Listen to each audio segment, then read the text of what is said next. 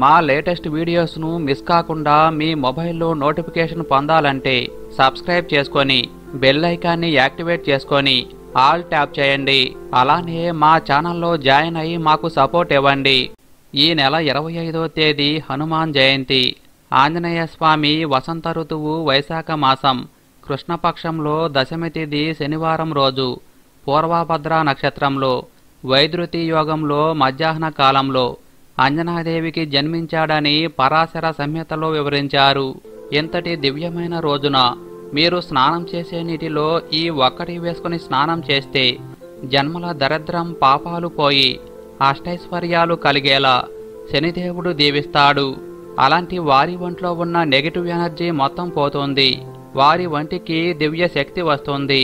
స్నానం చేసే నీటిలో ఏం వేసుకుని చెయ్యాలో ఈ వీడియోలో తెలుసుకుందాం. ఆంజనేయ స్వామి వసంత ఋతువు వైశాఖ మాసం కృష్ణపక్షంలో దశమి తిథి శనివారం రోజు పూర్వభద్ర నక్షత్రంలో వైద్యుతి యోగంలో మధ్యాహ్న కాలంలో అంజనాదేవికి జన్మించాడని పరాశర సంహితలో వివరించారు. ఆంజనేయుడికి ఎంతో ఇష్టమైనవి చాలామందికి తెలియదు. ఈ రోజు ఈ వీడియోలో మనం ఆంజనేయ స్వామికి అత్యంత ఇష్టమైనవి ఏంటో ఏమి ఆంజనేయ స్వామికి సమర్పిస్తే సులభంగా భక్తులకు ప్రసన్నమవుతాడో. ఎలాంటివి సమర్పిస్తే మనసులోని కోరికలను త్వరగా నెరవేరుస్తాడో. ఈ వీడియోలో మనం తెలుసుకుందాం. ఆంజనేయుడు అంజనాదేవి కేసరుల ముద్దు బిడ్డ. సదా రామనామాన్ని జపిస్తూ గంధమాదన పర్వతంపై నివసించు చిరంజీవి. శ్రీ హనుమంతుడు రుద్రాంశ సంభూతుడు. శివుడే ఆంజనేయుడిగా జన్మించినట్లు ఆ మహాశివుడే స్వయంగా సతీదేవితో చెప్పినట్లు పురాణ వివరణ ఉంది. హనుమ సర్వదేవతా స్వరూపుడు కాబట్టి ఆయన్ని పూజిస్తే సర్వదేవతలను పూజించిన ఫలితం వస్తుంది. హనుమద్భక్తులకు ఎల్లప్పుడూ సర్వ సౌఖ్యాలు అనుభవిస్తారు. ఆంజనేయ స్వామిని పూజించిన వారందరూ దీర్ఘాయుష్మంతులై ఉంటారు. సమస్త విజయాలు సిద్ధిస్తాయి. అపమృత్యు భయం ఉండదు.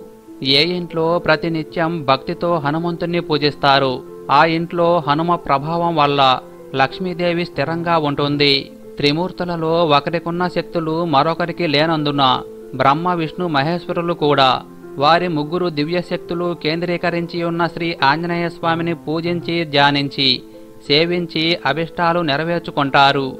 శ్రీరామచంద్రుడే హనుమదోపాసన చేసినట్లు సుందరకాండ ఉత్తరకాండలలో వచనాలున్నాయి.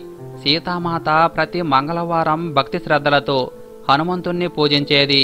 శ్రీకృష్ణుడు హనుమద్వ్రతం చేసి శమంతకమణిని సత్యభామను పొందాడు. ఈ రోజు సాయంత్రం ఆరు గంటల నుండి రాత్రి తొమ్మిది గంటల మధ్య ఆంజనేయ స్వామిని భక్తి శ్రద్ధలతో ఆరాధిస్తే సకల అభిష్టాలు నెరవేరతాయి. ఆంజనేయ స్వామి సీతారాముని దాసునిగా రామభక్తునిగా విజయప్రదాతగా రక్షకునిగా హిందూ మతంలో అత్యంత భక్తి శ్రద్ధలతో కొలువబడే దేవుడు. ఆంజనేయ స్వామి దేవాలయం లేని ఊరు ఉండదు. మన దేశంలో రామాలయాల కంటే ఆంజనేయ స్వామి విగ్రహాలే ఎక్కువగా కనిపిస్తాయి. ఆంజనేయ స్వామిని పూజించని భక్తులు ఉండరు. ఆంజనేయ స్వామిని పూజిస్తే సకల శక్తులు వస్తాయని పురాణాలు చెప్తున్నాయి. రామకార్య సిద్ధి కోసం శివుడే హనుమంతునిగా అవతరించాడని పురాణాలు చెప్తున్నాయి. హనుమంతుడు సర్వదేవతా స్వరూపుడు కావున ఆయన్ను పూజిస్తే సర్వదేవతలను పూజించిన ఫలితం దక్కుతుంది. ఏ ఇంట్లో భక్తి శ్రద్ధలతో ఆంజనేయ స్వామిని పూజిస్తారు ఆ ఇంట్లో హనుమ ప్రభావం వల్ల లక్ష్మీదేవి స్థిరంగా ఉంటుంది. పాండవులు హనుమంతుణ్ణి సేవించి విజయం పొందినట్లు పురాణాలు చెప్తున్నాయి. ఆంజనేయ స్వామిని సేవించే వారికి భోగభాగ్యాలు కలుగుతాయి సకల కోరికలు నెరవేరతాయి. ఈ భూమి మీద అన్ని సుఖాలు అనుభవిస్తారు. హనుమాన్ జయంతి రోజు ముఖ్యంగా సంతానం లేనివారు ఆంజనేయ స్వామిని కొలిచిన తప్పక సంతానం కలుగుతుంది. భార్యాభర్తల మధ్య అన్యోన్యత లేనివారు స్వామిని కొలిస్తే అన్యోన్యత పెరుగుతుంది. అప్పులతో బాధపడేవారు ఆంజనేయ స్వామిని ఆరాధిస్తే అప్పులు తీరి సంపదలు కలుగుతాయి. ఉద్యోగం లేని వారికి దోషాలు తొలగి మంచి ఉద్యోగం వస్తుంది.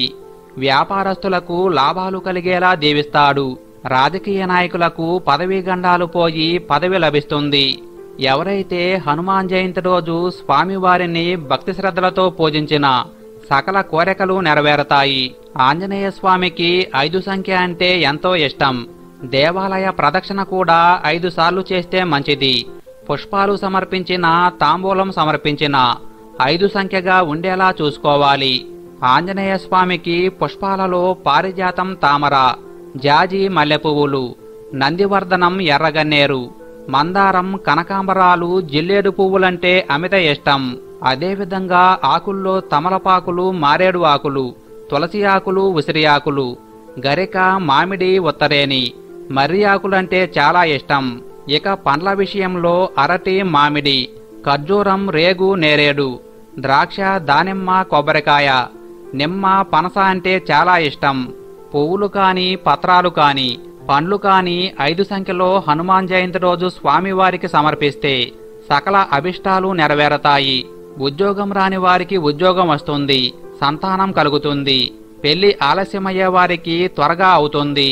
హనుమాన్ జయంతి రోజు స్వామివారికి ప్రదక్షిణలు చేస్తే భూత ప్రేత పిచాచ బాధలు రోగబాధలు తొలగి సకల శుభాలు కలుగుతాయి. ఆంజనేయ స్వామి ఈ ఒక్క పేరును స్మరిస్తే చాలు. బుద్ధి శరీర బలం యశస్సు ధైర్యం ఆరోగ్యం చురుకుదనం కలుగుతాయి. పిల్లలు పరీక్షల సమయంలో ఆంజనేయ స్వామి నామాన్ని ఒక్కసారి మనసులో తలుచుకుంటే చాలు. వారికి దివ్య శక్తిని ప్రసాదిస్తాడు. భయాన్ని పోగొట్టి కొండంత ధైర్యాన్ని ఇస్తాడు. వారిని విజయపదంలో నడిచేలా చేస్తాడు. ఆంజనేయ స్వామి బ్రహ్మ విష్ణు మహేశ్వరుల తేజస్సు నుండి అవతరించాడు. అందువల్లే సర్వదేవతా స్వరూపునిగా కీర్తింపబడ్డాడు. ఆంజనేయ స్వామిని పూజిస్తే సకల దేవతల ఆశీర్వాదం వెంటనే కలుగుతుంది. హనుమాన్ జయంతి రోజు భక్తి శ్రద్ధలతో స్వామివారిని ఆరాధిస్తే దీర్ఘ ఆయుష్ కలుగుతుంది. అపమృత్యు దోషాలు తొలగిపోతాయి. ఆంజనేయ స్వామి భక్తులను మించిన అదృష్టవంతులు ఈ భూమి మీద లేరని పురాణ వాక్కు. పరమేశ్వరునికి భస్మం అంటే ఎంత ఇష్టమో? జగన్మాతకు కుంకుమ అంటే ఎంత ఇష్టమో? ఆంజనేయ స్వామికి సింధూరం అంటే అంత ప్రీతికరమైంది. సింధూరంతో స్వామివారిని పూజించిన విగ్రహానికి పూసిన త్వరలో వారికి ఆంజనేయ స్వామి ప్రసన్నుడు అవుతాడని పురాణాలు చెప్తున్నాయి. అలాంటి వారి కోరికలు తక్షణం నెరవేరి వారు చేసే ప్రతి పనిలో విజయం వరిస్తుంది సమస్త బాధలు పోగొడతాడు. ఎవరైతే హనుమాన్ జయంతి రోజు ఆంజనేయ స్వామిని భక్తి శ్రద్ధలతో పూజిస్తారో అలాంటి వారికి శని బాధలు ఉండవు.